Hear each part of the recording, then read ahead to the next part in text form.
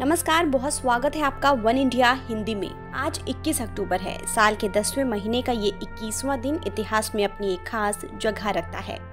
देश और विदेश के इतिहास में 21 अक्टूबर को कई ऐसी घटनाएँ हुई थीं, जिसे जानना आपके लिए बेहद ज़रूरी है। तो आइए नज़र डालते हैं आज के इतिहास पर। प्रसिद्ध भारतीय तैराक मिहिर सेन ने आज ही के दिन 1966 में बास फोरस की खाड़ी को पार करके एक कीर्तिमान अपने नाम किया था।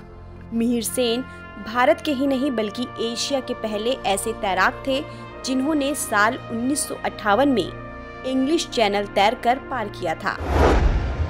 चीन में कम्युनिस्ट नेताओं ने 21 सितंबर उन्नीस सौ उनचास को people's republic of China party की घोषणा की थी, जो चीन की सबसे बड़ी राजनीतिक पार्टी है। इस पार्टी की घोषणा विश्व युद्ध के तुरंत बाद चीन में सिविल वॉर शुरू होने और कम्युनिस्ट नेता माओ जेडोंग की जीत के बाद हुई थी। बोइंग बी उनतीस सुपर फोर्ट्रेस ने आज ही के दिन 21 अक्टूबर 1942 में अपनी पहली उड़ान भरी। बोइंग द्वारा निर्मित ये विमान एक आधुनिक चमत्कार था और द्वितीय विश्व युद्ध के दौरान किसी भी देश द्वारा नियोजित सबसे बड़ा बम वर्षक था।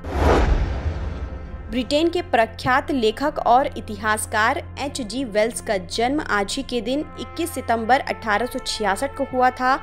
एच जी वेल्स एक महान साइंस फिक्शन कहानियों के लेखक थे। एच जी वेल्स, जिनका पूरा नाम था हार्वर्ड जॉर्ज वेल्स। फ़िलहाल इस खबर में इतना ही। देश और दुनिया की तमाम खबरों के लिए आप बने रहिए वन इंडिया, हिंदी के साथ।